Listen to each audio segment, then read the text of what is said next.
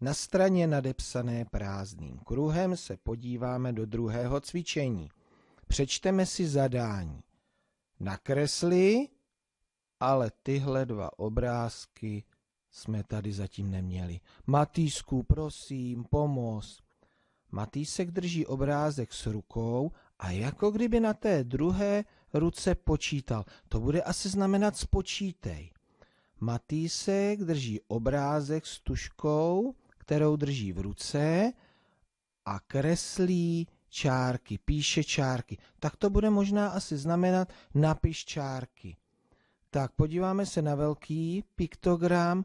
Ano, nakreslí, počítá švestky jedna, dvě a píše dvě čárky. Podíváme se, jestli to tak je. Matýsku, ukaž nám to.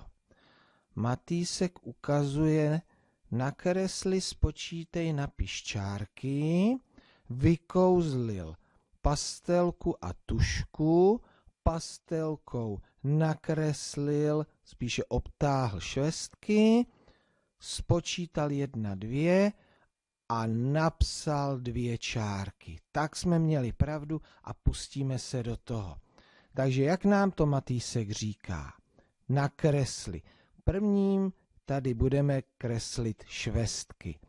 Švestky jsou modré, vememe si modrou pastelku. Hledám, hledám švestky. Jedna švestka. Tak. Je, vám se to asi podaří lépe obtáhnout. A tady druhá švestka. A víc jich tady není.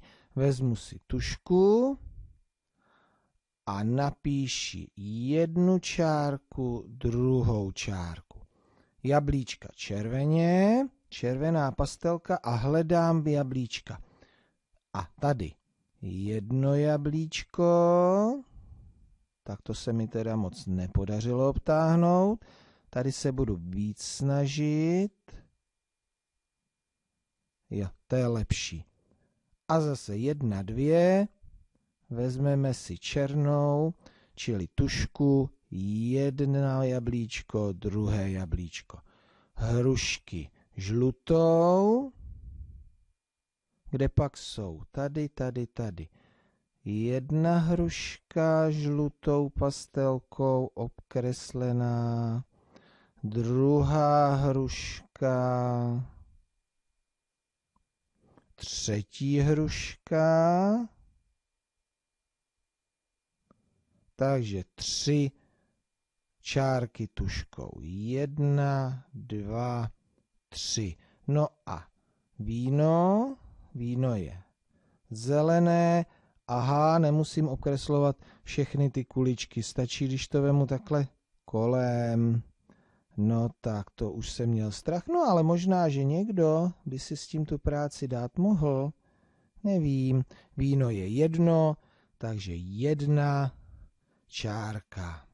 Takže jsme si vysvětlili, co znamenají další dva piktogramy. Znamenají spočítej a napiš. A ukázali jsme si také, co všechno máme dělat ve druhém cvičení.